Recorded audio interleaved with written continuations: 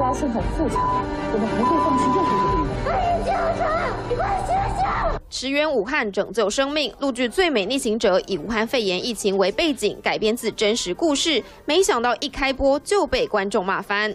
咱们这个报名的都是男同志，是不是女同志也出一个呀？徐大姐，我真不行。儿子和闺女都从外地回来，我这一大家子等着我过年呢。武汉公车征求志愿者运送物资，男员工纷纷响应，女员工却百般推脱。如此歧视女性的剧情不止出现一次。听我的，留下来好好照顾老人和孩子。身为妻子的护士想到前线，却只能顾家；女医生加入救援，却被要求在旁边配合就好。种种重男轻女、强调父权社会的剧情，让人看不下去。医疗常识更错误百出。